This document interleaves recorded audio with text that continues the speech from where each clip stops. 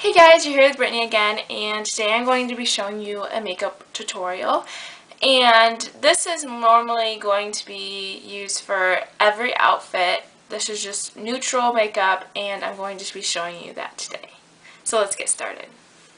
So I've already applied a few things to my face. I've applied the CoverGirl concealer just to problem areas dealing with acne and stuff like that and under my eyes. And then I applied throughout my whole entire face with the e.l.f. Almond Tinted Moisturizer to just blend my face. And then I've also added the Classic Tan 260 and CoverGirl foundation. So I've already applied those to my face. And the next product that we're going to be using is the e.l.f. palette. And these are just in basic neutral colors that we're going to be using today. And I'm going to be using the eyeshadow brushes from, from e.l.f. This one is the defining brush, this littler one, and this is just the full coverage brush. We're going to be taking this color right here, this skin colorish right here. I'm using that. And we're just going to apply that on the whole lid. Now I have a mirror over here to my right, so I'm going to be looking in that. And you just want to apply that on the whole lid as much as you like until you're comfortable with it.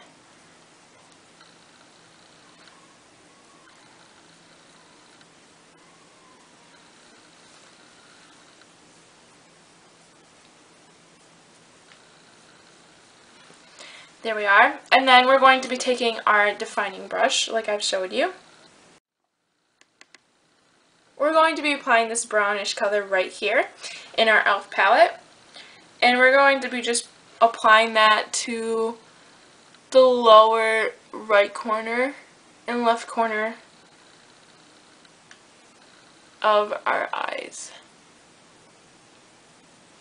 I feel like I'm the only one that opens my mouth while I do my makeup. if you do that, comment below so I don't feel weird.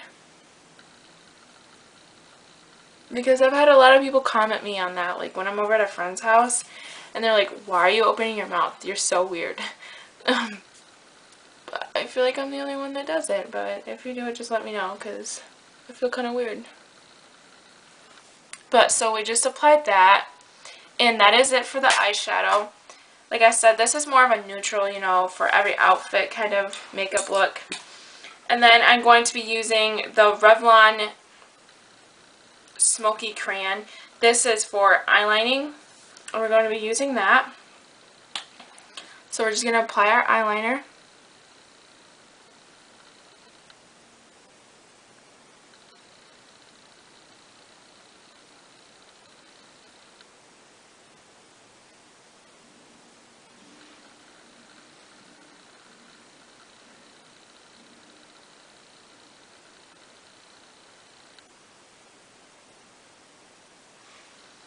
There we are.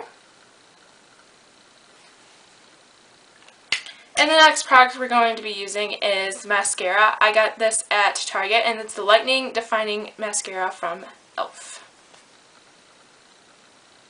Like I said, I really like e.l.f.'s products. Um, they're a very good company with makeup and they're also very affordable.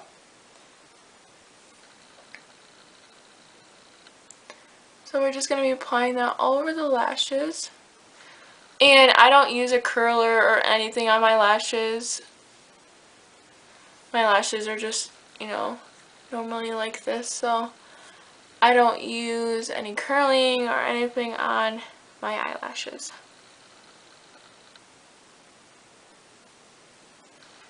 So there's the mascara. And our next and our last thing is the lips. And like I said in recent videos, is the Victoria's Secret Shiny Mocktail Hour. Um, I use this on my lips just a very little. So I, let's apply that to the lips.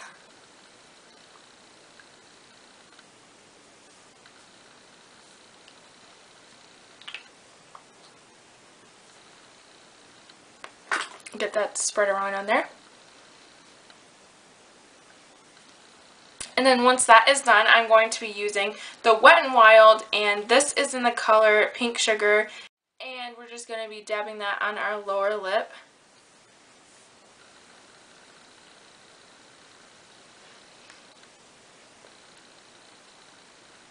And this will give us more of a nude color for our lips.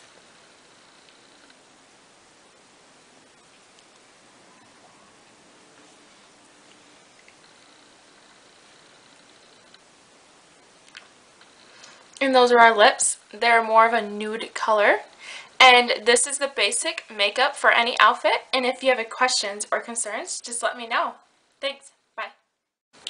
And I had a few people ask me about my whitening products that I use on my teeth. I actually don't use any whitening strips or anything like that. I just brush my teeth three times a day and I use the 3D Crest whitening, uh, whitening toothpaste.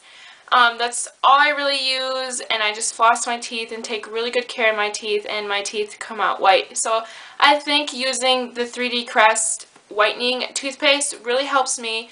So I really do recommend that, you know, that toothpaste. It doesn't cause any pain for me. I don't have sensitive, sensitive teeth. Um, if one of you guys do, um, if you guys have problems with that, just come back to me and I'll try out other products or you can try try out other products and just let me know if the 3D Crest Whitening Toothpaste worked for you.